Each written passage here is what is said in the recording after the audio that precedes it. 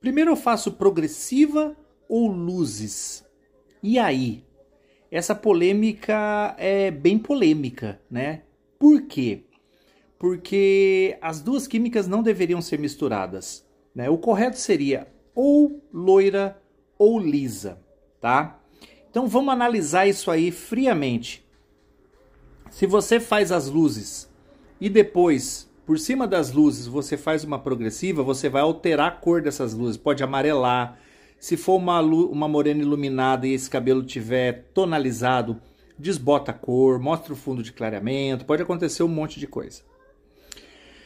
Em contrapartida, de maneira inversa, se você faz primeiro a progressiva e depois faz as mechas, as mechas de certa maneira vão dar um aspecto ruim nessa progressiva, porque vai abrir a cutícula, vai deixar esse cabelo áspero, vai agredir esse cabelo, não vai dar certo.